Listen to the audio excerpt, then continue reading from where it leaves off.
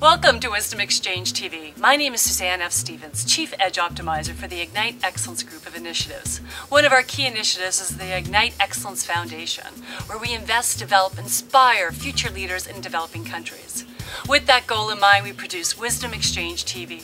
These women that we interview all over Africa are the trailblazers, pioneers, leaders of many in business, philanthropy, education, as well as politics. And we are with Sheila Freemantle, founder and managing director of Tintsaba, created in 1985 with the purpose of improving the lives of rural women in Swaziland. Your approach to business is quite unique. Tell us a little bit about your approach and how you keep your employees engaged.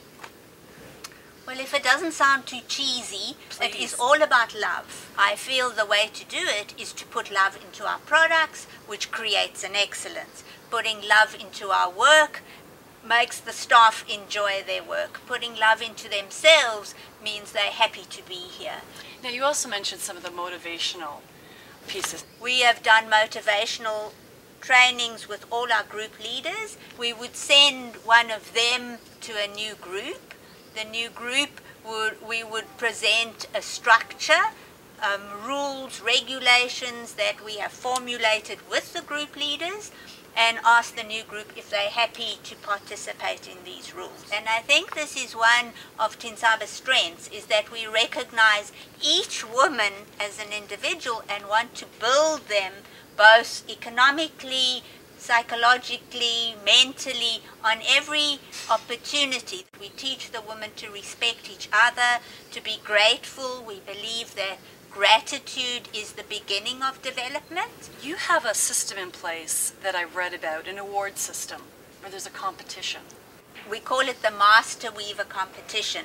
And out of two, three hundred basket weavers, um, only about 20 or 30 qualify as master weavers by the fineness of their technique. So what is interesting about this whole competition is those women get a, a money prize. They get really good money for their basket. So it's become a career as opposed to a craft. But also these master weavers then have a status in their community and they start to be mentors. The group leaders have created a rule for us and for the women that the group has to meet once a week under the tree where they can help each other and instill the Tintsaba core values. They do a bit of brain gym, they talk about um, the the raw material control and they also assist each other in a community driven way to improve each other's quality.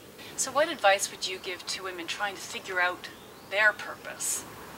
Well, on a level, I think what Tintsaba tries to do is to work with each person and find out what their strengths are and then delegate their weaknesses or be open about their weaknesses and open about their mistakes so that we create a culture of not hiding our mistakes but being open and communicating about our mistakes or having questions. It is in the end about communication and I think that's what Africa finds important and that's also part of fair trade is don't install a decision.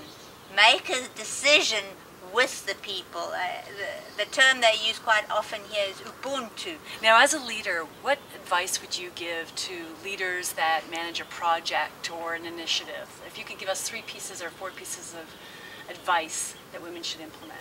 I think what my staff have brought out fairly recently to, to me to include in the core values is that they really appreciate the discipline and the structure that Tintsaba has given them and that gives them a kind of reassurance up these structures. Um, another thing I think We're traveling all over Africa with our backpacks, interviewing women leaders like Sheila. So if you know somebody that we should interview, please email us at info at wisdomexchangetv.com or you can go to our Facebook fan page, Wisdom Exchange TV, and let us know there.